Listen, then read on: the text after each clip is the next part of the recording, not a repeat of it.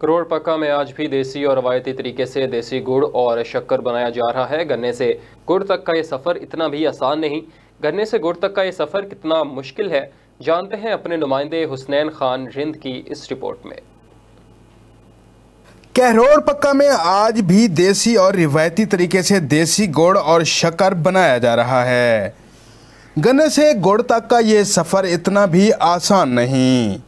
सबसे पहले गन्ने की खेतों से कटाई की जाती है ਗੁੜ ਸ਼ੱਕਰ ਬਣਾਉਣਾ ਸਾਡਾ ਪੇਸ਼ਾ ਸੀਗਾ ਪਿਓ ਦਾਦੇ ਦੀ ਵਿਰਾਸਤ ਕੋਲੋਂ ਆ ਰਿਹਾ ਸੀਗਾ ਇਹ ਕੰਮ ਵਿੱਚੋਂ ਅਸਾਂ ਸਟਾਪ ਕੀਤੇ ਅਸਾਂ ਅੱਜ ਮਹਿੰਗਾਈ ਦੀ ਸੂਰਤ-ਹਾਲ ਵੇਖ ਕੇ ਇਹ ਗੁੜ ਸ਼ੱਕਰ ਬਣਾਉਣਾ ਦੁਬਾਰਾ ਸ਼ੁਰੂ ਕੀਤਾ ਤਾਂ ਕਿ ਅਸਾਂ ਆਪ ਵੀ ਗੁੜ ਸ਼ੱਕਰ ਇਸਤੇਮਾਲ ਕਰ ਸਕੀਏ ਗਰੀਬ ਆਵਾਮ ਵੀ ਸਾਡੇ ਕੋਲੋਂ ਖਰੀਦ ਸਕੇ गन्ने की कटाई करने के बाद सफाई सुथराई करके बेलने से गुजारा जाता है जिससे गन्ने का रस निकलता है जिसे सराय की ज़ुबान में रौ भी कहा जाता है।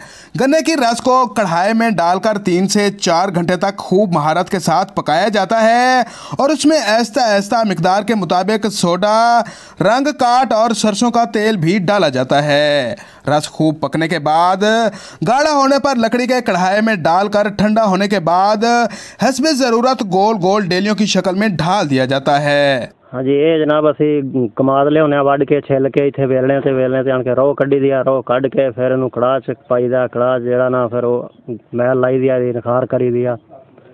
ਫਿਰ ਇਹਦਾ ਯਾਨੀ ਕਿ ਅਗਰ ਗੁੜ ਬਣਾਓ ਤਾਂ ਗੁੜ ਵਾਸਤੇ ਸੋਡਾ ਨਹੀਂ ਇਸਤੇਮਾਲ ਹੁੰਦਾ, ਅਗਰ ਸ਼ੱਕਰ ਬਣਾਓ ਉਹਦੇ ਵਾਸਤੇ ਸੋਡਾ ਇਸਤੇਮਾਲ ਹੁੰਦਾ ਫਿਰ ਸ਼ੱਕਰ ਬਣਦੀ ਆ। ਬੜੀ ਮਿਹਨਤ ਕਰਨੀ ਪੈਂਦੀ ਆ ਇਹਦੇ ਲਈ, ਅਗਰ ਗੁੜ ਬਣਾਓਗੇ ਫਿਰ ਇਹ ਸੋਡਾ ਨਹੀਂ ਪਾਓਗੇ, ਰਾਂਕੜ ਪਾਓਗੇ ਉਹਦੇ ਸਫੈਦ ਕਰਨ ਵਾਸਤੇ ਥੋੜ੍ਹਾ ਬਹੁਤਾ, ਫਿਰ ਉਹਦੇ ਨਾਲ ਗੁੜ ਬਣ ਜਾਂਦਾ, ਇਹ ਸ਼ੱਕਰ ਵਾਸਤੇ ਜਿਹੜਾ ਇਹਦੇ ਵਾਸਤੇ ਸੋਡਾ ਇਸਤੇਮਾਲ ਕਰਨਾ ਪੈਂਦਾ। फिर लोग लैन होते हैं दूरों दूरों। आज से सफ़र करके यहाँ से देसी गुड़ लेने के लिए आया हूँ। इनको मैंने ऑर्डर पे देसी मेवा जात वाला गुड़ तैयार करवाया है जो मैंने दोस्तों को आके भेजना है जो इन्होंने मुनासिब दाम में मुझे बना के दिया। बहुत अच्छा होता है लजीज होता है ये। देसी माहौल में बनने वाला ये गुड़ सेहत के लिए मुफीद होने के साथ साथ लज्जत और जायके में भी अपनी मिसाल आप है। गुड़ को पंजाब की बेहतरीन सौगात भी कहा जाता है। कैमरा टीम अब्बास खान के साथ हसनैन खारिंद वॉइस न्यूज़ कैरोड़ पका।